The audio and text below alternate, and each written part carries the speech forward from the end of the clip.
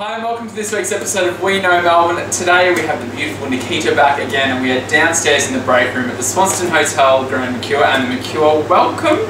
Nikita, what have you got for us this week? Alright, so this week we will be talking about the Moomba Festival, which starts a week from today. It will run up through the whole entire long weekend period.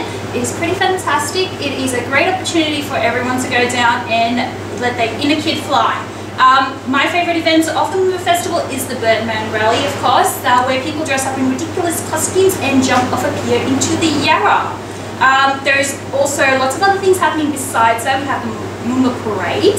Um, there is also a carnival and to finish it off, there is fireworks, which I think is fantastic any time of the year. Um, it is happening down at the Alexandra Gardens and along the Yarra River, of course. If you need directions, we have got the concierge who will point you down that way, but it is a short walk from the hotel, so please, please, if you're down in Melbourne, definitely head down that way and enjoy it.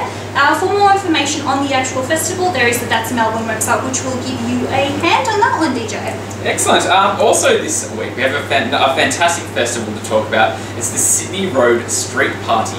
Now it's on this Sunday from 12 p.m. Uh, yeah, 12 p.m. to 7 p.m.